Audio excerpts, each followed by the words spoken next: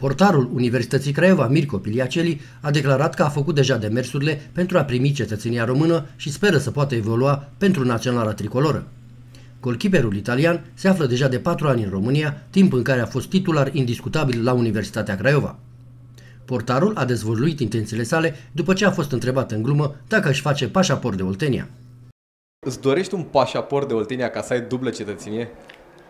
Da, m-am gândit și mm, am deja vorbit pentru lucrul, lucrul acest și o vom face și va veni deja, cred, în iunie. Și sper și cu pasaportul să am și o șansă de națională. Mirko Piliaceli va mai rămâne pentru cel puțin încă un sezon la Universitatea Craiova, conform declarației agentului său Danilo Caravello. Portarul italian de 28 de ani se află de 4 sezoane la Universitatea Craiova, el având contract până în vara aceasta, dar cu opțiune de prelungire pentru încă un sezon care a fost deja activată.